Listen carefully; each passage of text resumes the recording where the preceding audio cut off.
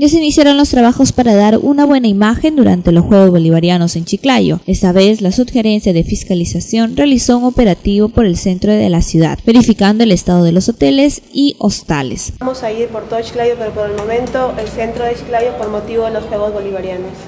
Ya, y también los propietarios tratan de, de minimizar, digamos, estas irregularidades. Claro, para que regularicen todo, todos de los inconvenientes que se presentan hasta el momento. Durante el recorrido se pudo observar que los hospedajes no cuentan con los documentos en regla y sobre todo que tienen problemas de salubridad, puesto que se encontró sábanas manchadas, baños sucios, colchones y almohadas rotas. Encontrando colchones en mal estado, manchados, almohadas deterioradas hasta el momento. Para finalizar, la subgerente de fiscalización dijo que los dueños de los hoteles serán sancionados con el pago del 30% de una UIT. ¿Cuántos piensan este, visitar? Por hoy día unos 15. Ya, y por toda la mañana. constatando que los extintores están vencidos. Están vencidos.